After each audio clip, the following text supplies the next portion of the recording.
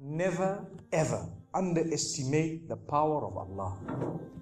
You know, there, there was a sheikh who mentioned this in Saudi Arabia, and there was a doctor that visited him from Pakistan and told him a story that happened to him. So he says, What happened to me? He says, He, the doctor who's speaking, is a top neurologist. One of the top doctors in Pakistan, or, you know, a very, very good doctor, very hard to meet. It's said that perhaps you would have to wait months on end before you can get an appointment to see him. So what happened is, he says, I was flying from one city to another, very busy man, flying quite often within the, the country and perhaps even outside. And he says, suddenly the clouds built, the clouds built up. Huge clouds, and the lightning started striking, and it started pouring, and there was lots of turbulence, and one of the engines was struck and it was damaged. So we had to land. We had to land. And so what happened is the landing was at a nearby little airport or a little strip and so on.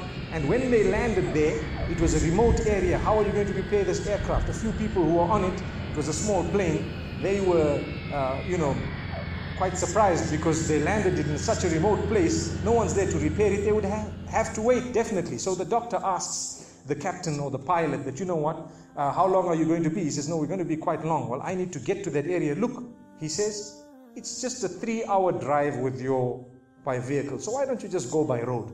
And you know, you can go there and get there. He says, okay, good idea, because this is going to take long. So he decides to go on one of the trishaws, you know, in Pakistan, one of the areas, wherever it was, and he jumped in. And as they started progressing, the clouds built again. And the lightning was striking, and the rain started pouring. And it was pouring so much that their, their vehicle could not move much more because of the mud and because of everything else. And so it was quite an open area with a bit of farmland. And, and after a while, they realized look, we're not getting anywhere. There's a little house here. Why don't we just go there? We can read our salah. Perhaps we can, you know, uh, see, have a bit of a meal or whatever else. And they decided to knock the door. Strange people, strange land, far off, out in the rurals. And so he knocks the door and he's got his little bag and everything and he walks in. Uh, an old lady happened to answer the door after a while and she they spoke to her saying look we, this is what has happened and we're going from so and so to so and so and we just want a place we want to read salah and so on. And she said no problem you can come in. She had a little musalla a little sajjada and she had a little baby on the side or not a baby but a, a child and the child, every little while, she's actually checking on the child and she's sitting on that musalla making dua and reading her own salah. These people fulfilled their salah, did whatever they had to. Uh, and when they were about to leave, they spoke to the old lady saying, you know, thank you very much, jazakumullah khair, and so on. And, you know, uh, we're going, what's, what's happening to this child, you know? So the woman says, look, the child is an orphan. And the child is unwell, not well all, very sick. And uh, we've been to all the doctors around. We've been to all the doctors around. And subhanallah, I'm the grandmother of this child. The doctors have told us that there is only one specialist around, one specialist around who can help this child. And we tried to make an appointment, but they asked us to come six months later. And it's far away. I've been making dua to Allah ever since that day. Ya Allah, make it easy for us. Child is sick. Child is sick. Make it easy for us, Ya Allah. So the man says, What's the name of that specialist? So the granny says, It's Dr. Ishan. Immediately, this doctor burst into tears. He burst into tears. Straight away, he burst into tears. Why are you crying? Your dua has just been accepted. For your dua, the thunder came, the lightning came, the engine struck, we came down, we came on the road, the rain came again and stopped us, and so on. And do you know what? The rain only stopped after the question was asked. Now it happened.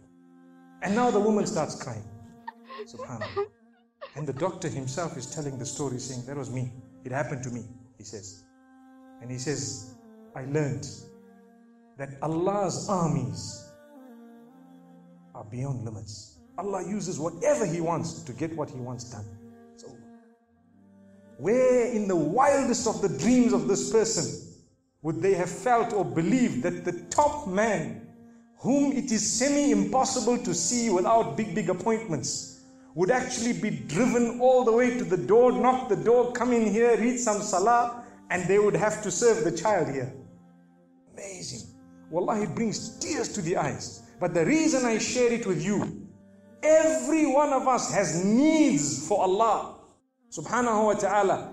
Just keep calling. Just have yaqeen. Have conviction. If it is meant, it will definitely come in your direction. You know, we use the term by hook or crook, but I don't want to use that today. I want to tell you by the mercy and power of Allah subhanahu wa ta'ala, it will happen, it will come to pass. May Allah subhanahu wa ta'ala bless us. May He open our doors. May He grant us all shifa.